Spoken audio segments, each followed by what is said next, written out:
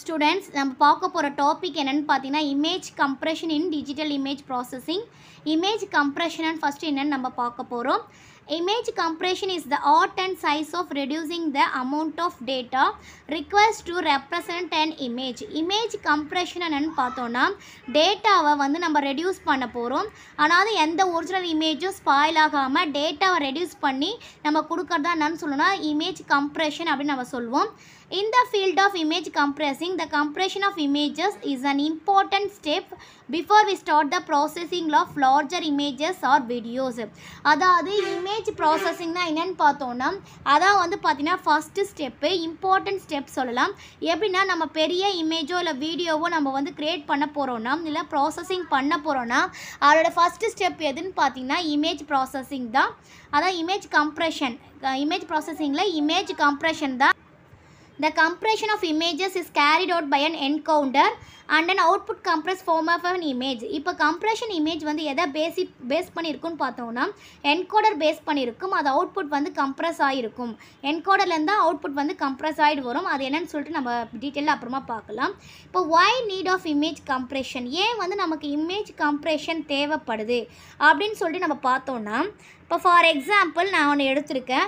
நம்ம என்ன பண்ண போகிறோம்னா ஒரு மூவி வந்து டவுன்லோட் பண்ண போகிறோம் அது வந்து செவன் டுவெண்ட்டி பிக்சலில் அது எந்த ஃபார்மேட்டில் எனக்கு தேவைன்னா thousand two hundred eighty into seven twenty ஃபார்மேட்டில் எனக்கு தேவை. அந்த மூவி வந்து டவுன்லோட் பண்ணுறதுக்கு எனக்கு எவ்வளோ டூரேஷன் ஆகும்னு பார்த்தீங்கன்னா டூ ஹவர்ஸு அது ரெக்கார்டட் பார்த்தீங்கன்னா சிக்ஸ்டி எஃப்பிஎஸ் இது வந்து நமக்கு தேவைப்படுது.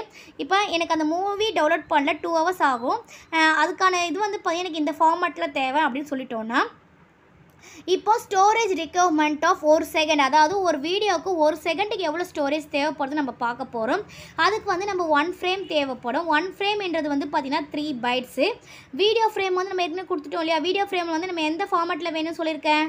Thousand two hundred eighty into seven twenty அப்போ செவன் டுவெண்ட்டி இன்ட்டு ஒன் ஃப்ரேமோட சைஸு த்ரீ பைட்ஸு அது வந்து சிக்ஸ்டி எஃபிஎஸில் நம்ம ரெக்கார்ட் பண்ண போகிறோம்னு சொல்லிட்டோம் இல்லையா ஃப்ரேம்ஸில் அப்போ நமக்கு என்ன ஆகும்னா sixty into one two eight zero into seven twenty into three byte இதோடைய அப்ராக்சிமேசி வேல்யூ பார்த்தோன்னா one fifty eight point two MB எதுக்கு பார்த்தீங்கன்னா one fifty eight point two MB எதுக்கு ஒன் செகண்ட் ஆஃப் வீடியோ நம்ம ரெக்கார்ட் பண்ணுறதுக்கு நமக்கு தேவைப்படுது. அப்போ டூ ஹவர்ஸ்க்கு ஒரு மூவி ஃபுல்லாக வந்து நமக்கு எவ்வளோ தேவைப்படும்னு பார்த்தீங்கன்னா one fifty eight point two into sixty அதாவது sixty minutes sixty hours into டூன்னு கொடுத்தோம்னா அப்ராக்சிமேட்டாக நமக்கு வந்து thousand eleven hundred and thirty GB வந்து நமக்கு தேவைப்படுது. அப்போது டூ ஹவர்ஸுக்காக நம்ம ஒரு மூவியை வந்து நம்ம ரெக்கார்டோ இல்லைனா டவுன்லோட் பண்ணுறதுக்கு நமக்கு எவ்வளோ தேவைப்படுதுன்னா thousand hundred and thirteen GB தேவைப்படுது. இப்போ பார்த்தீங்கன்னா அதாவது thousand hundred and thirteen GB வந்து தேவைப்படுதுன்னு பார்த்துட்டோம். அதுக்கு எவ்வளோ ஹவர்ஸ் நமக்கு வந்து தேவைப்படுது? அதாவது ரெண்டு ஹவர் மூவிக்கு எவ்வளோ நேரம் நம்ம வந்து அதை வந்து ரெக்கார்டோ இல்லை டவுன்லோட் பண்ணோன்னு பார்த்தோன்னா ஹண்ட்ரட் எம்பிபிஎஸ்க்கு பார்த்தீங்கன்னா ஹண்ட்ரட் எம்பி ஒன் செகண்டுக்கு தேவைப்படுது.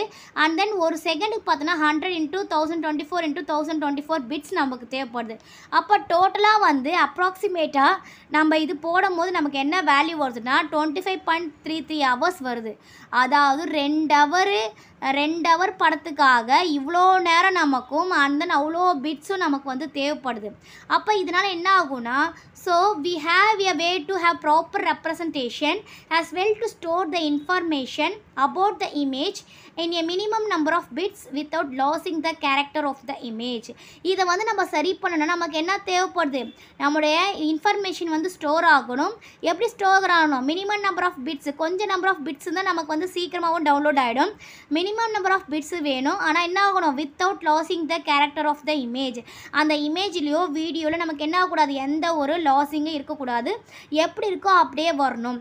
அப்போ அந்த மாதிரி வரணும்னா அதுக்கு தான் நம்ம என்ன யூஸ் பண்ணுறோன்னா இமேஜ் கம்ப்ரெஷன் யூஸ் பண்ணுறோம் இந்த இமேஜ் கம்ப்ரெஷன்ஸ் யூஸ் பண்ணுறதுனால நமக்கு என்ன ஆகும்னா நம்மளுடைய டேட்டா கம்மியாகுமே தவிர நம்ம இமேஜோட குவாலிட்டியோ வேறு எதுவும் நமக்கு எந்த ஒரு லாஸ் ஆகாது. அதனால தான் இந்த இமேஜ் கம்ப்ரெஷன் வந்து நம்ம யூஸ் பண்ணுறோம் என்னென்ன கம்ப்ரெஷன் மெத்தட்ஸ் இருக்குன்னு நம்ம பார்த்தோம்னா run length encoding arithmetic coding Huffman coding and transform coding இதெல்லாம் இதெல்லாம் பார்த்தீங்கன்னா கம்ப்ரெஷன் டிஃப்ரெண்ட் கம்ப்ரெஷன் மெத்தட்ஸு இப்போ வந்து இமேஜ் கம்ப்ரெஷன் மாடல் எப்படி ஒர்க் ஆகும்னு பார்த்தோன்னா ஃபஸ்ட்டு நம்ம வந்து கொடுக்கறது பார்த்திங்கன்னா ஒரிஜினல் இமேஜ் ஒரிஜினல் இமேஜ்லேருந்து பார்த்தீங்கன்னா சோர்ஸ் என்கோடர் என்கோடராக மாறுது. அந்த சேனல் என்கோடர் சேனலில் போயிட்டு திருப்பி என்ன ஆகுனா கம்ப்ரஸ்ட் இமேஜ் சேனல் டீகோடராக மாறுதுன்னா அது வந்து வந்து பார்த்திங்கன்னா compressed image and then source uncompressed image sorry decoder means uncompressed image and then source டீகோடராக மாறி நமக்கு என்ன ஆகுதுன்னா கம்ப்ரஸ்ட் இமேஜாக நமக்கு மாறுது. இதான் வந்து பார்த்திங்கன்னா processing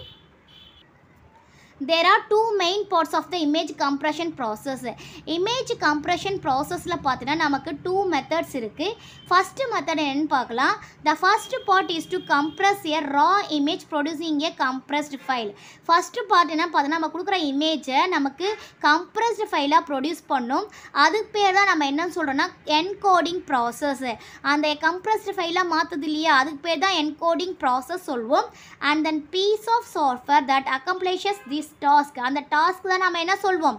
என்கோடர் அப்படின்னு சொல்லுவோம் அந்த கம்ப்ரஸ்டு ஃபைலாக நம்ம ஒரிஜினல் ஃபைல் கொடுத்து அது கம்ப்ரஸ்டு ஃபைலாக மாறுது இல்லையா? அந்த ப்ராசஸ் தான் என்கோடிங் ப்ராசஸ் அது நம்ம அந்த டாஸ்க்கு என்ன சொல்லுவோம்னா என்கோடர் சொல்லுவோம் நெக்ஸ்ட் செகண்ட் பார்ட் என்னன்னு பார்த்தோம்னா the second part of the process is to take a compress image file and produce the image is an uncompressed format அதாவது செகண்ட் பார்ட் என்னன்னு பார்த்தோம்னா நம்ம கம்ப்ரஸ்ட் இமேஜ் இருக்கு இல்லையா? நம்ம வந்து ஃபஸ்ட் இமேஜாக கொடுத்தோம். அது கம்ப்ரஸ் இமேஜாக மாறிச்சு. அந்த கம்ப்ரஸ் இமேஜை நம்ம என்ன பண்ணோம்னா அன்கம்ப்ரஸ்டு ஃபார்மேட்டில் மாற்றணும் அதுக்கு பேர் தான் என்னென்னு பண்ணோம்னா ரீகன்ஸ்ட்ரக்ட் இமேஜ் சொல்வோம்.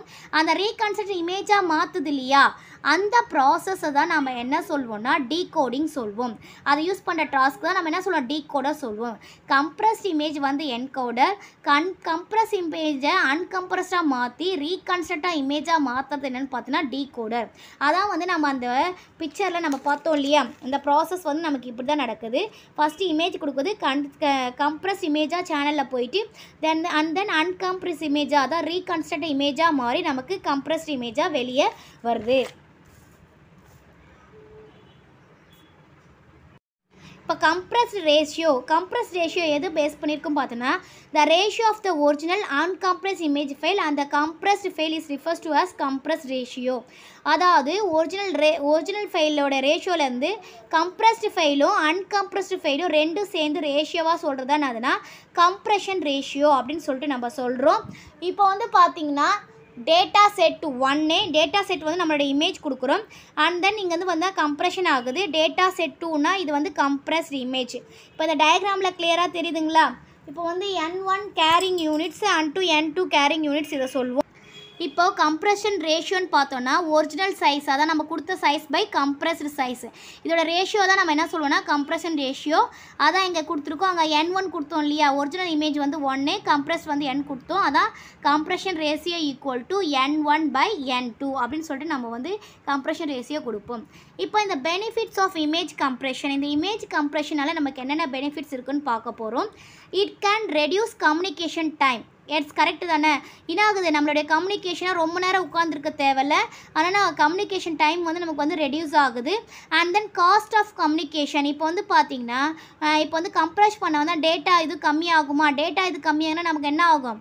காஸ்ட் வந்து கம்மியாகும். அதாவது எக்ஸ்ட்ரா வந்து நெட் வந்து எடுக்காது. அப்போ நமக்கு என்ன ஆகும் காஸ்ட் ஆஃப் கம்யூனிகேஷன் வந்து நமக்கு வந்து கம்மியாக இருக்கும்.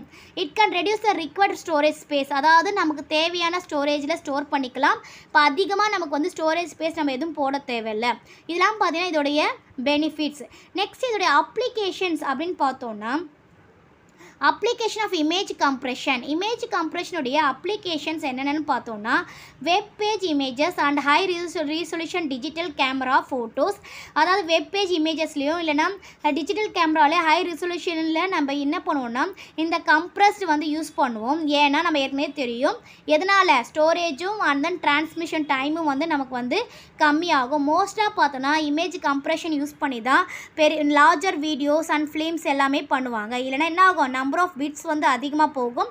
நம்பர் ஆஃப் பிட்ஸ் அதிகமாக போச்சுன்னா number of storage and then number of timing எல்லாமே நமக்கு என்ன ஆகும்? எக்ஸ்ட்ரா ஆகும்.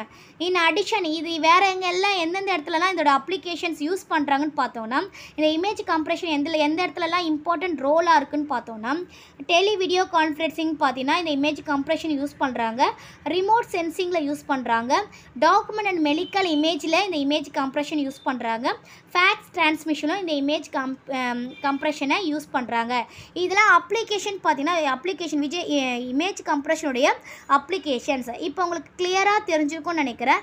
இமேஜ் கம்ப்ரெஷன்னா என் என்னது ஏன் அது வந்து யூஸ் பண்ணுறோம் அப்படின்றத உங்களுக்கு கிளியராக புரிஞ்சிருக்கும்னு நினைக்கிறேன்.